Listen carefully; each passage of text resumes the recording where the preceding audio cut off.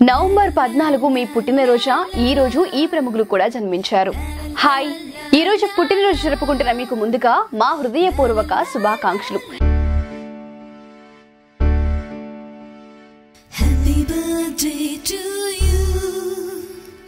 Happy birthday to you.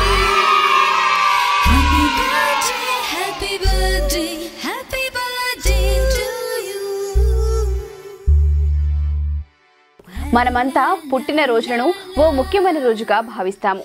అలాగే మన అమ్మా నాన్న సైతం ఈ రోజును మనతో పాటు సెలబ్రేట్ చేస్తూ ఉంటారు.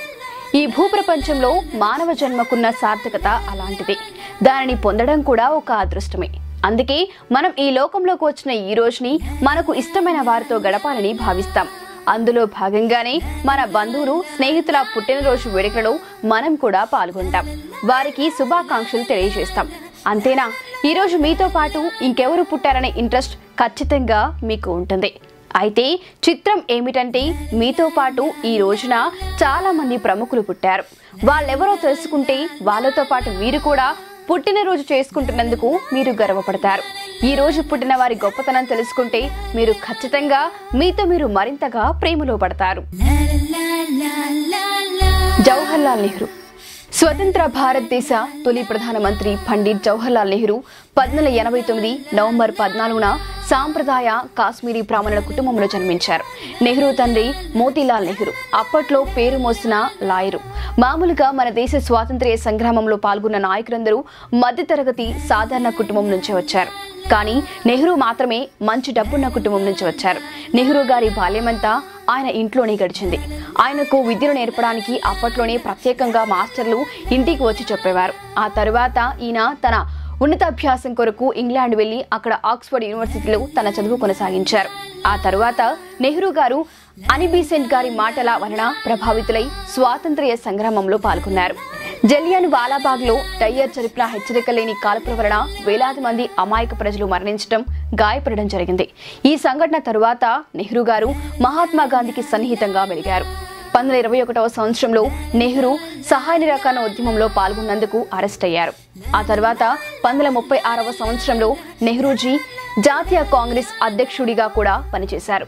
స్వాతంత్ర భారతదేశానికి తొలి ప్రధానిగా పంతొమ్మిది నలభై ఏడవ సంవత్సరం నుంచి తాను మరణించేదాకా సుమారుగా పదిహేడు సంవత్సరాలు ప్రధానిగా వ్యవహరించారాయన చైనాతో కలిసి పంచశీల సూత్రాలను ప్రతిపాదించారాయన ఈయన ప్రధానిగా ఉన్న కాలంలోని స్టీలు పరిశ్రమలు పెద్ద పెద్ద కర్మాగారాలు హైడ్రో ఎలక్ట్రిక్ ప్రాజెక్టుల నిర్మాణాలు సాగాయి.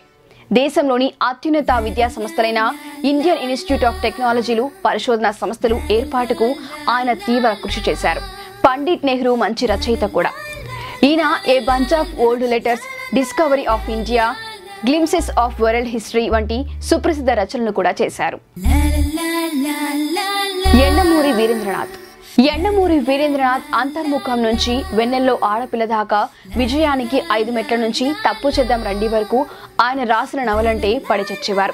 తెలుగులో అంత పెద్ద నవల స్టార్ రైటర్గా హోదా అనుభవించారు. ఆ తరువాత ఆయన రాసిన నవలు సినిమాలుగా వచ్చాయి. రచయితగా ఆయన పలు సినిమాలకు కూడా పనిచేశారు. వాటిలో మంచు పల్లకి ఆఖరి పోరాటం కాశ్మోరా అభిలాష ఛాలెంజ్ జగదేక వీరుడు అతిలోక సుందరి ఇలా ఎన్నో హిట్ సినిమాలు ఉన్నాయి. పంతొమ్మిది ఎనభై రెండులో ఆయనకు రాష్ట్ర సాహిత్య అకాడమీ అవార్డు పంతొమ్మిది తొంభై ఆరులో వెన్నెల్లో ఆడపిల్ల టీవీ సీరియల్కు నంది అవార్డు రెండు వేల రెండులో విజయం వైపు పయనం అనే ప్రోగ్రాంకు నంది అవార్డ్స్ వచ్చాయి. మమతా మోహన్ దాస్. జూనియర్ ఎన్టీఆర్ హీరోగా వచ్చిన యమదొంగలో కాసేపు యముడిగా కనిపించి నవ్వించి తన అందంతో కవించిన మమతా మోహన్ దాస్ గుర్తుందా? నేడు ఆవిడ పుట్టినరోజు. రెండు వేల ఐదులో వచ్చిన మలయాళం సినిమా మయూకంతో హీరోయిన్గా పరిచయమైంది. ఆ తరువాత బస్ కండక్టర్ అద్భుతం. లంక బాబా కళ్యాణి లాంటి సినిమాలతో మలయాళంలో నటిగా మంచి గుర్తింపు తెచ్చుకుంది. రెండు వేల ఏడులో వచ్చిన యమదొంగ సినిమాతో తెలుగు తెరకు పరిచయమైంది. ఆ తరువాత తెలుగులో కృష్ణ అర్జున విక్టరీ హోమం కింగ్ సినిమాలో నటించింది. మమత తన కెరియర్లో తెలుగు తమిళ్ మలయాళం కన్నడ భాషల్లో కలిపి యాభై రెండు సినిమాల్లో హీరోయిన్గా నటించింది. అలాగే దాదాపు ఇరవై ఐదు పాటలు పాడింది. ఈవిడకు రెండు ఫిలింఫేర్ అవార్డ్స్ ఒక కేరళ స్టేట్ అవార్డు కూడా వచ్చాయి. భమిడిపాటి రాధాకృష్ణ. భమిడిపాటి రాధాకృష్ణ ప్రముఖ తెలుగు రచయిత. ఈయన బహుముఖ ప్రజ్ఞశాలి. భమిడిపాటి రాధాకృష్ణ మూడు నాటకాలు ఆరు నాటికలు రచించగా అవి కన్నడ తమిళ హిందీ భాషల్లోకి అనువాదమయ్యాయి. ఇదేమిటి? కీర్తిశేషులు మనస్తత్వాలు భజంత్రీలు దంత వేదాంతం వంటి నాటకాలు నాటికలు రాశారు. రావు గోపాలరావు కీర్తిశేషులలోని ఒక పాత్ర ద్వారా మంచి పేరు తెచ్చుకుని సినీ పరిశ్రమలోనూ అడుగుపెట్టాడు. నిర్మాత దుక్కిపాటి మధుసూదన్ రావు ప్రోద్బలంతో సినీ రంగంలోకి ప్రవేశించి నూట యాభై సినిమాలకు కథలందించారు. ఇందులో కె. విశ్వనాథ్ తొలి చిత్రమైన ఆత్మగౌరవం కూడా ఉంది. బ్రహ్మచారి కథానాయకుడు కీర్తిశేషులు మరుపురాణి కథ విచిత్ర కుటుంబం పల్లెటూరి బావ ఎదురులేని మనిషి గోవుల గోపన్న సీతారామ కళ్యాణం నారి నారి నడుమ మురారి కాలేజీ బుల్లోడు వంటివతో సహా తెలుగు చిత్రాలకు కథలు రాశారు. ఎన్టీఆర్ ఏఎన్ఆర్లకు ఆయన సన్నిహితుడు తనకు ఎంతో ఇష్టమైన గణిత రంగంపై మక్కువ చూపారు. భమిడిపాటి రాధాకృష్ణ క్యాలెండర్ పేరిట క్రీస్తు పూర్వం నలభై ఐదు నుంచి క్రీస్తు శకం ఐదు వేల ఐదు వందల యాభై ఐదు వరకు అంటే ఆరు వేల సంవత్సరాల క్యాలెండర్ను రూపొందించారు.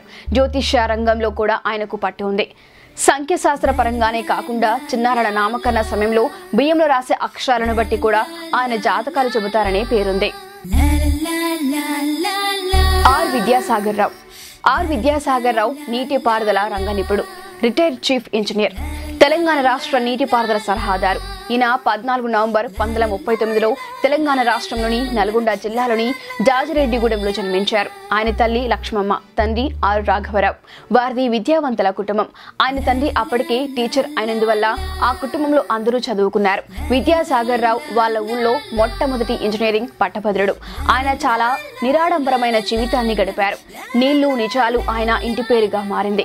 వృత్తిరీత్యా ఇంజనీర్ అయిన కొలులో ఉన్నన్నాలు మంచి రచయితగా నటుడిగా పేరు పొందారు. ఆయన పంతొమ్మిది అరవైలో హైదరాబాద్లోని ఉస్మానియా విశ్వవిద్యాలయం నుండి ఇంజనీరింగ్లో పట్టభద్రుడయ్యారు పంతొమ్మిది డెబ్బై తొమ్మిదిలో రుర్కీ విశ్వవిద్యాలయంలో నీటి వనరుల అభివృద్ధిలో మాస్టర్స్ డిగ్రీని పొందారు. పంతొమ్మిది ఎనభై మూడులో యుఎస్లోని కొలరాడో స్టేట్ విశ్వవిద్యాలయం నుండి నీటి వనరుల వ్యవస్థ ఇంజనీరింగ్లో డిప్లొమా పొందారు. పంతొమ్మిది తొంభైలో ఢిల్లీ విశ్వవిద్యాలయం నుండి న్యాయశాస్త్రంలో పట్టాను కూడా పొందారు. బీటెక్ అయిన వెంటనే క్యాంపస్లోని మహిళా కాలేజ్ మెయింటెనెన్స్ ఇంజనీర్గా ఉద్యోగంలో చేరారు. ఉద్యోగంలో చేరిన తర్వాత కూడా రాయటం నాటకాలు వేయడం వంటి హాబీలను ఆయన వదులుకోలేదు. హైదరాబాద్లో ఉద్యోగం అనంతరం ఢిల్లీకి వెళ్ళారు కేంద్రంలో మినిస్ట్రీస్ ఆఫ్ రైల్వేస్ నీటిపారుదల శాఖలో ఇంజనీరింగ్ పూర్తి చేశారు. ఢిల్లీలో ఉండగానే నీళ్ళ విషయంలో తెలంగాణకు జరుగుతున్న అన్యాయాన్ని తెలుసుకున్నారు. రిటైర్మెంట్ తర్వాత తిరిగి హైదరాబాద్కు వచ్చారు. అంతకుముందు దాదాపు ముప్పై నాలుగు సంవత్సరాల పాటు కేంద్ర జల సంఘంలోని విధులు నిర్వహించడంతో ఆయనకు దేశవ్యాప్తంగా జలవనరుల అంశంపై అపారమైన అనుభవం గడించారు తెలంగాణ ఉద్యమకారుడు ఆయన జల సమస్యలపై ప్రజలతో తెలుగులో మాట్లాడేవారు. వార్త ఆంధ్రజ్యోతి ఈనాడు నమస్తే తెలంగాణ పత్రికలలో జల సంబంధిత సమస్యలపై సుమారు వంద వ్యాసాలు రాశారు. అంతేకాకుండా నీరు నిజాలు అనే పేరుతో రెండు సంపుటాలను వెలువరించారు. సాధారణ ప్రజలతో నీటి సమస్యలపై అవగాహన కల్పించుటకు సెమినార్లకు నిర్వహించేవాడు. రెండు వేల పద్నాలుగులో ఇన్స్టిట్యూట్ ఆఫ్ ఇంజనీర్స్ ఆయనను లీడింగ్ ఇంజనీరింగ్ పర్సనాలిటీ ఆఫ్ ఇండియాగా పురస్కారాన్ని అందించింది. ఎన్ లింగుస్వామి. కార్తీ హీరోగా వచ్చిన ఆవార సినిమా గుర్తుందా? తమిళ్ళోనే కాకుండా తెలుగులో కూడా ఆ సినిమా మంచి హిట్ అయింది. ఆ సినిమా దర్శకుడే లింగుస్వామి. నేడు ఆయన పుట్టినరోజు. రెండు వేల ఒకటిలో హీరో మమ్మూటితో ఆనందం అనే సినిమాతో దర్శకుడిగా పరిచయమయ్యారు. ఆ తర్వాత రెండు వేల రెండులో మాధవంతో తీసిన రన్ అనే సినిమా దర్శకుడిగా మంచి గుర్తింపు తీసుకొచ్చింది. ఇక అక్కడి నుంచి ఎన్నో హిట్ సినిమాలకు దర్శకత్వం వహించారు. ఆయన తమిళ్ళో హీరో విశాల్తో తీసిన పందెం కోడి సినిమా తెలుగులో కూడా పెద్ద హిట్ అయింది. ఇంత గొప్ప ప్రముఖులు జన్మించిన రోజున పుట్టిన మీరు కూడా వాళ్ళ స్థాయికి వెళతారని మా నమ్మకం. మీకు మరోమారు బర్త్డే విషెస్ చెప్తున్నాం. వాళ్ళందరి స్ఫూర్తితో ముందుకు వెళ్ళాలని మనస్ఫూర్తిగా కోరుకుంటున్నాం. సో చూసారు కదా ఈ వీడియో కనుక మీకు నచ్చినట్టయితే లైక్ చేయండి షేర్ చేయండి. మరిన్ని బ్యూటిఫుల్ బర్త్డే అప్డేట్స్ కోసం మా ఛానల్ని తప్పకుండా సబ్స్క్రైబ్ చేయండి. Thanks for watching.